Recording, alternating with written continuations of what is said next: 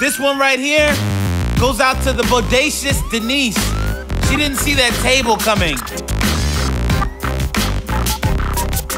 Blam! It's a black-eyed surprise. This evil shiner is turning pint size. Really. Maybe you can get away with a pirate's disguise. Hold on, you hit your head on the table? How big was the table?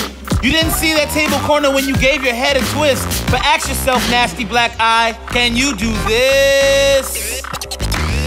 Wait, somebody threw a table at you? Or you jumping at a table? Denise versus table. Denise lost.